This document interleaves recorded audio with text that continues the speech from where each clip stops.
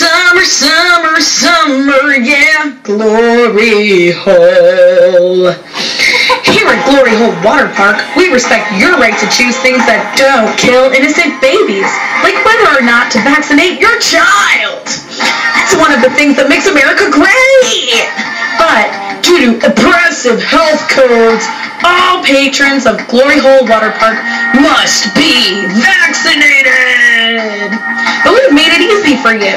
Just walk on over to the tent we've erected across the street and get all of your vaccines. We'll even give you a free day pass for your travel. Spend your summer sliding right into that glory hole. Yeah.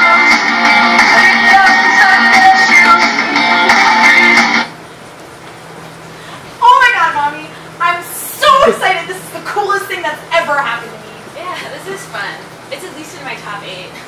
Woo! What's your number one moment? Giving birth to me? That's number three. okay.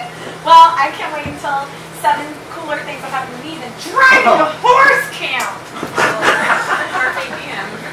I'm gonna make new friends. I'm gonna braid my new friend's hair. I'm gonna braid the horse's hair. And I'm gonna make friends with high school girls who are older than me and know a lot. And they're gonna be nice to me and have hard jobs Yeah. because they're cool. And all the exercise we're gonna get. You know, riding horses all day and not sitting on our ass in front of the TV.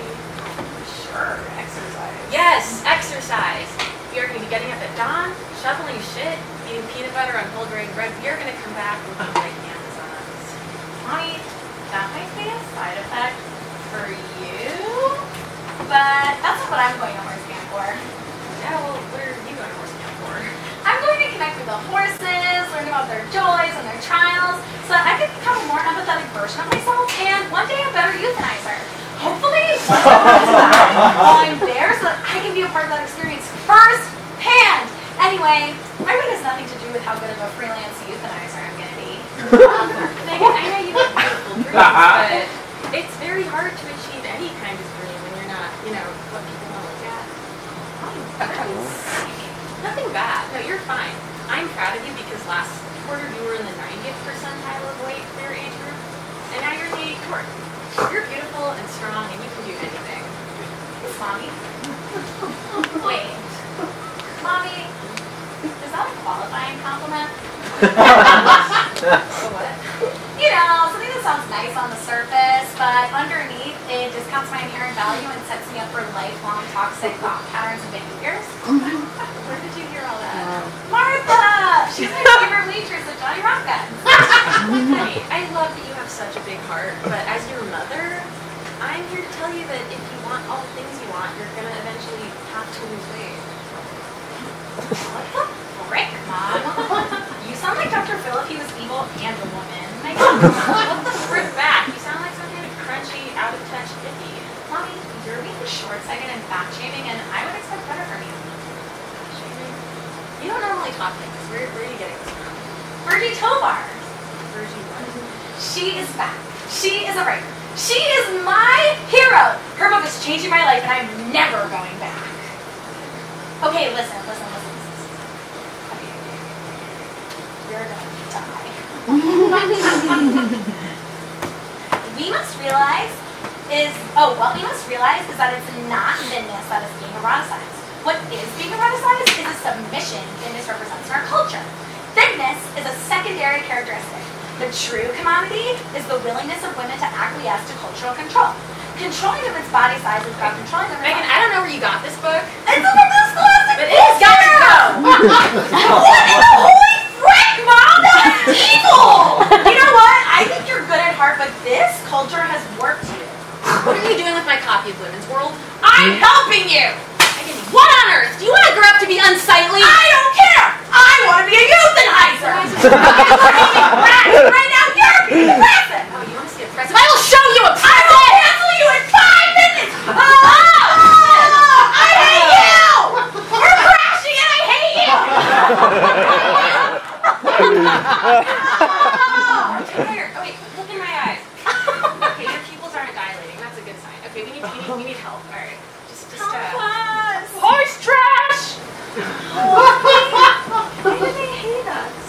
Virgie Tovar mentions this, but Coca-Cola's wrong. She actually actually does.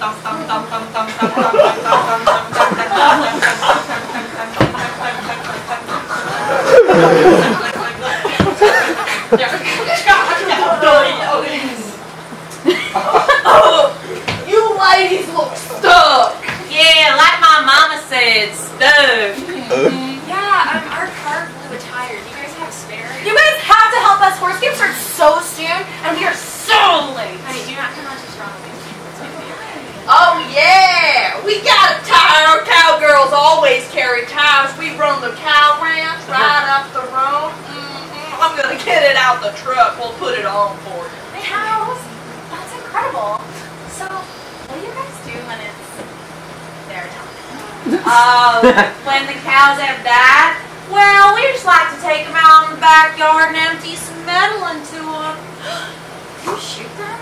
What about their end-of-life dignity and the inherent value of all creatures? Mama. Oh, they got value, all right. Just till they don't. Oh, okay. Besides, it's good target practice for my kids. Yeah, boing, boing, boing, boing, boing. That's the sound that I think's gonna be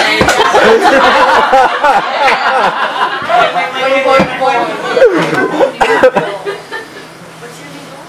My life story is going to be dignified end-of-life to remote areas.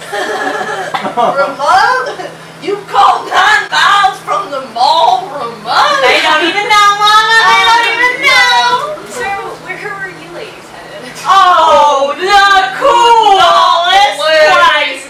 The coolest Plenty. place. Oh, oh, not come on too strong with these people. Yeah, okay, yeah, that's fun for us. coolest place.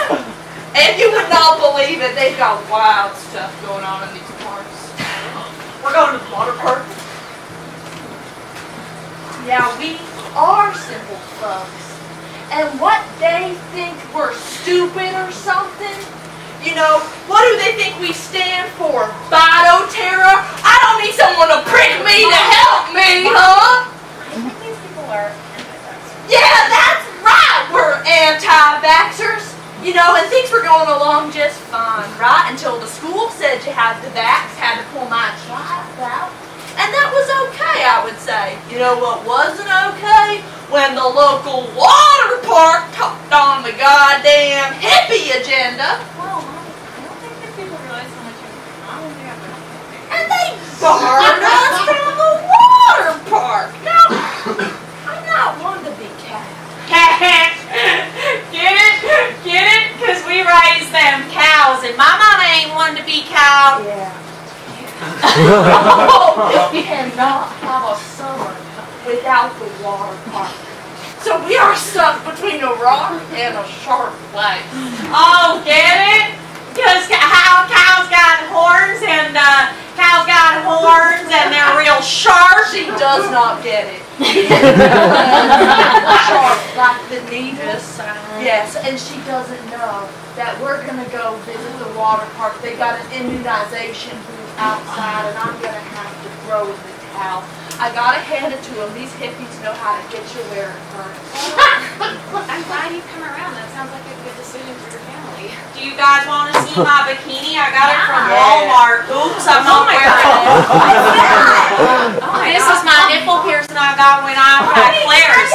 No, absolutely not. Oh I got it 15 years ago. That was not, that was not for you to see. You know, you people seem fun. No, No, I'm gonna you don't actually don't seem fun to me that seems one not bit, but maybe someone would think you were fun. So why don't you join us and go to the water park, huh? Oh, I would love to pick your brain about public school, okay? Because I get real around with being homeschooled, you can imagine. Honey, we have to go to horse camp. Thank you for the kind offer, but I, I can't get the bathing suit. What, what, what, you got a skin condition or something? Some eczema? Let me tell you, there's gonna be worse shit on the people at the park. Yeah, like Miss McGee used to say in homeroom when I used to have a homeroom. She used to say everyone else is, you know, got a worse rash and they're just going to be thinking about theirs. No, it's, it's not my skin. I just don't think anyone should have to look at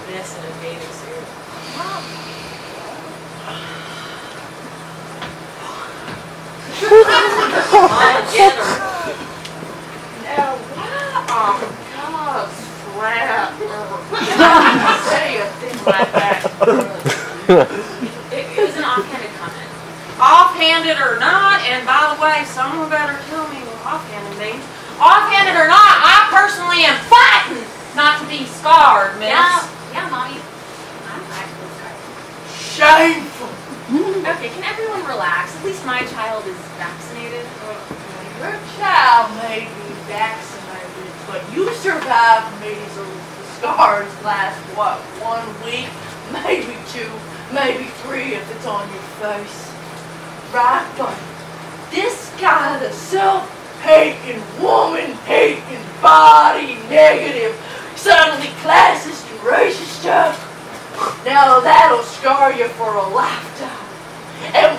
And why would you want your beautiful, perfect babies to have to deal with this for a lifetime when you can't even deal with it yourself, rear back woman? Yeah, like Virgie Tovar says. Oh my god! You like Virgie Tovar? She's a hero! Yeah, yeah, we love Virgie Tovar. We can listen to her audiobook in the car on the way to the park. Huh? Hit it, baby. Here, I'll play it. Controlling women's body size is about controlling women's lives. This claim to control is based on fantasies of masculine superiority bolstered by the culture. This control does not just apply to thinness. All right, well, that's the clip. Um,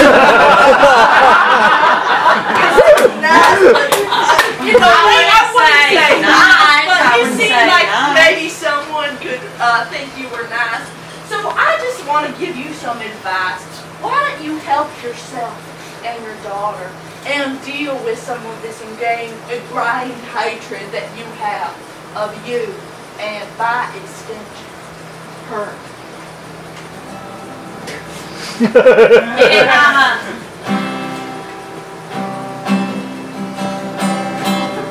I wasn't always this self-assured. I used to be kind of a mess. you never would see me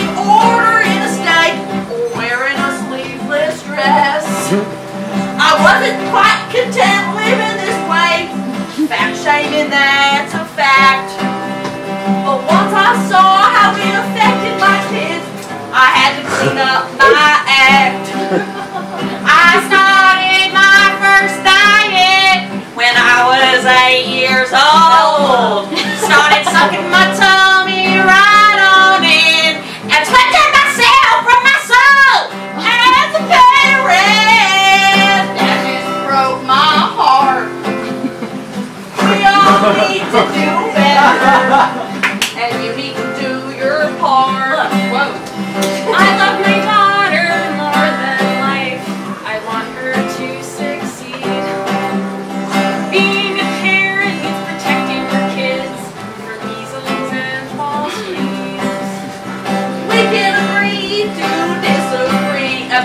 whether they need the shots.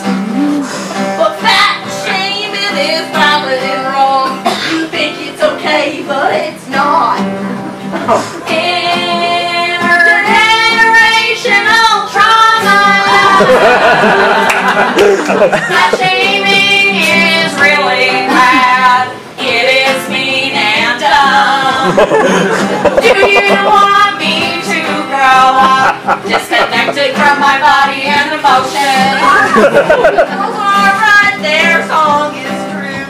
Body positivity wins. Loving yourself is a lifelong goal. And now it's time to begin. We are all doing our best. It's not what you may think. There's a special place in hell for women who don't support other women. enough! Slow down with the tire! Loving your body is all there is. This you must realize. It sounds fake and it feels wrong because you're conditioned. paper chains. They're not as strong as you think.